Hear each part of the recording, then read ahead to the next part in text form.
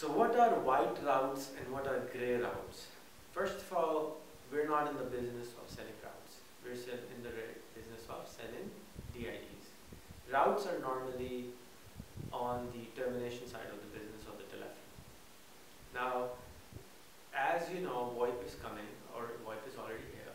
So a lot of companies, a lot of people set up small little routers in their homes or offices, and this, and they put up a SIM gate or a SIM gateway, and then the call comes over the internet to the SIM gateway, and the call is terminated using the SIM card. So for example, you live in Egypt, you want to send calls to the nearest Syria or another neighboring country. So the call, you put up a gateway in the border area of Egypt, where the calling rate is say 10 cents a minute, and your cost to call is 2 cents a minute. You bring the call over the internet, and it lands on your SIM gateway, and makes a local phone call through the SIM gateway to that number, and the customer will see a local phone number coming in. That would be an illegal phone call. That would be a gray route.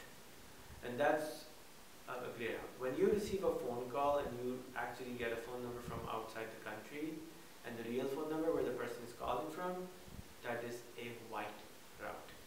And it depends on the hops in between, how many carriers are involved, how many carriers that is how good quality of the call is. So if there are if there are less carriers involved, the call quality would be higher.